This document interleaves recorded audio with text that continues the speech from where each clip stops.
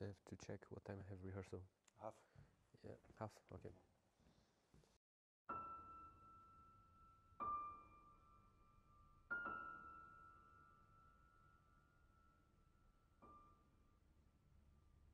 Hi, I'm Hudson. I come from Brazil.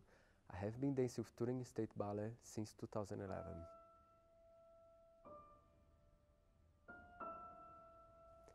Have been choreographing for the company and for the apprentice program since 2019.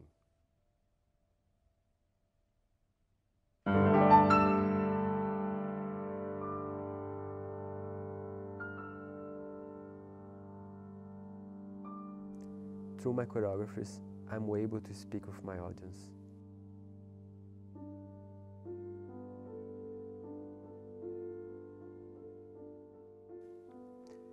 Being a choreographer gives me the opportunity to express my ideas, my vision, and my emotions.